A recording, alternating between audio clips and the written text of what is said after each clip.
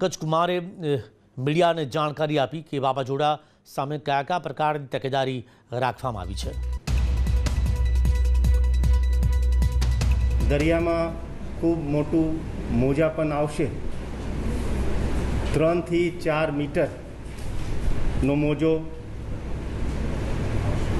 ભાવનગર, અમરેલી, ગીર સોમનાથ અને આણંદ. અને બેથી ત્રણ મીટર ભરૂચ અને દક્ષિણ અમદાવાદ જિલ્લામાં આવશે.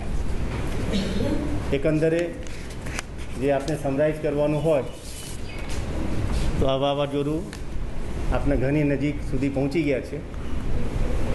અને છેલ્લા જ્યારથી હવામાન ખાતાની આગાહી થઈ હતી, ત્યારથી એમની, એમને કઈ રીતે વધારેથી વધારે વહીવટી તંત્ર તૈયાર થાય, લોકો તૈયાર થાય અને ઓછામાં ઓછું નુકસાન થાય એ પ્રકારની તૈયારી ચાલુ છે. અને હવે આપની તૈયારી પૂરી થઈ ચૂકી છે.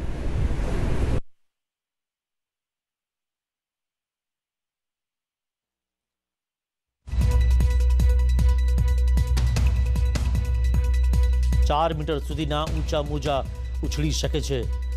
દરિયાકાંઠા વિસ્તારમાં સૌથી વધુ એલર્ટ છે એનડીઆરએફ અને એસડીઆરએફની કુલ ચોપન ટીમ તૈનાત છે.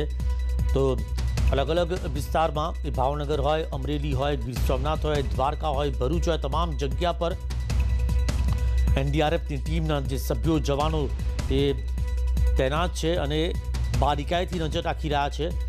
લગભગ દોઢ લાખ લોકોનું સ્થળાંતર કરવામાં આવ્યું છે. તો તેનાથી અંદાજ લગાવી શકાય છે કે જાનમાલનું નુકસાન ન થાય, લોકોને હાનિ ન પહોંચે. મકાનો જે કાચા મકાનો છે તેને નુકસાન ન થાય તે માટેના પણ પ્રયત્નો કરવામાં આવી રહ્યા છે. પરંતુ હવાની જે ગતિ જે છે તે લગભગ એકસો સાહીઠથી એકસો ને સિત્તેર કિલોમીટર પ્રતિ કલાકથી ઝડપથી આગળ વધી રહ્યું છે વાવાઝોડું. અને ત્યારે જોવું રહ્યું કે જ્યાં જ્યાં દરિયાના ઊંચા મોજા ઉછળશે તેવા વિસ્તારની અંદર એ દરિયાના પાણી કુલ કેટલી અંદર સુધી ગામની અંદર પહોંચી જાય છે? અને તે વખતે પણ દરિયાકાંઠે લાંગરેલી બોટો હોય કે જહાજો હોય ત્યારે નુકસાન ન થાય તે માટે પણ વેરાવળમાં પણ જોવા મળ્યું કે જેટી પરથી એ બોટને અન્ય જગ્યા પર લઈ જવાની કવાયત હાથ ધરવામાં આવી છે. તો પંકજ કુમાર કે જેમણે કહ્યું કે તમામ તૈયારીઓ કરી લેવામાં આવી છે, મહેસૂલ વિભાગના સચિવ પંકજ કુમારે પંકજ કુમારે મીડિયાને જાણકારી આપી કે વાવાઝોડા સામે તમામ તકેદારી રાખવામાં આવી રહી છે. ગીર સોમનાથના વેરાવળમાં દરિયાકાંઠે નીચાણવાળા વિસ્તારમાં રહેતા લોકોનું સ્થળાંતર કરાવવામાં આવી રહ્યું છે. તો આ માટે એનડીઆરએફની બે અને એસડીઆરએફની એક ટીમ કામ પર લાગી. વેરાવળમાં એનડીઆરએફની વધુ એક ટીમ સ્ટેન્ડ બાય રાખવામાં આવી છે.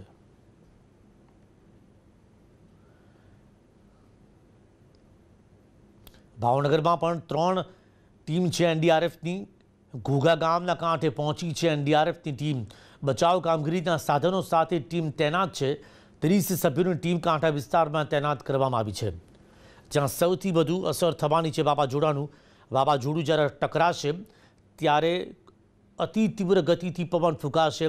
અને તે માટે જ એનડીઆરએફના જે આ સભ્યો જે છે, જવાનો છે જેને આપ જોઈ રહ્યા છો કે તેમને સૂચના આપવામાં આવી રહી છે. તેમને ખાસ પ્રકારની વિશેષ ટ્રેનિંગ આપવામાં આવતી હોય છે, જ્યારે આ પ્રકારની કુદરતી જે આપત્તિ આવતી હોય છે, વાવાઝોડું આવતું હોય છે. અને દરિયામાંથી જ્યારે ધસમસતું વાવાઝોડું એ ગુજરાતના દરિયાકાંઠે ટકરાવા જઈ રહ્યું છે, ત્યારે તમામ ગતિવિધિની પર નજર રાખવામાં આવી રહી છે કે તેનો વ્યાપ કેટલો છે વાવાઝોડાનો, તે કેટલી જે ઝડપથી આગળ વધી રહ્યું છે, લગભગ બારથી તેર કિલોમીટર પ્રતિ કલાકની ઝડપથી તે ગુજરાતના દરિયાકાંઠા તરફ આગળ વધી રહ્યું છે. તો